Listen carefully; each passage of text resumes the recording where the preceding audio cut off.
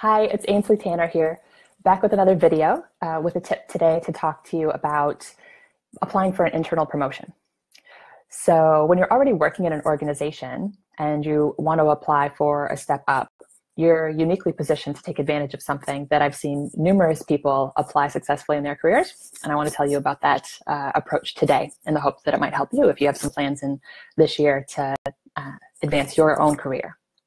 So the, the tip I have for you is that when you're submitting your application for this promotion, to include a plan that you would execute, execute on if you were given the role.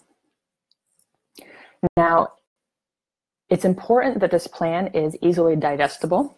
So you don't want any 100 page documents filled with words right? This needs to be something that the, the folks that are evaluating the application will be able to go through relatively easily on their own and understand your, your thinking.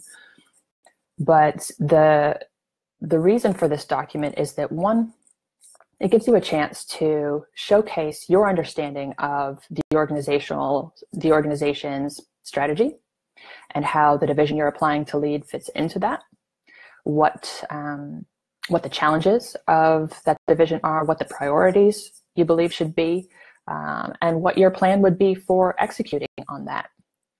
So by applying just a, a, short document that kind of highlights your your thinking, that showcases your understanding of how this division fits into the organization, its um, its connections to, to the rest of the business, um, you, you, get a, you get uh, to take advantage of, of a number of things um, that I think make it so successful for people. Number one, um, you are able to take advantage of your unique insider information. Um, so if there are any external candidates that are going to be applying for this role, you've you've got insider information that you're able to take advantage of in terms of understanding what the priorities, what the dynamics and the culture um, within this, this organization are. So that can be a differentiator from um, the outside competition that might be applying for this role.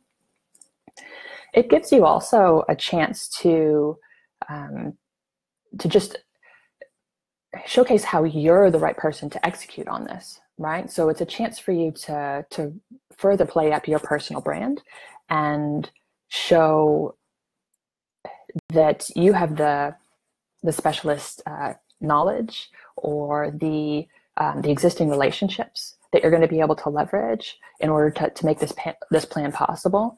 Um, so it's a it's a great way for you to just further enhance your your personal brand that way. Not to mention by going by by producing this plan and submitting it alongside whatever else has been requested as part of the the process you're showing you're positioning yourself as somebody who goes above and beyond right? Which is which is a great impression impression to make because um, anybody who's who's looking to hire in um, someone into a position wants to feel like they they can trust this person to deliver right? So you're, you're sending a really great message by going above and beyond showcasing your thinking um, sharing your plans.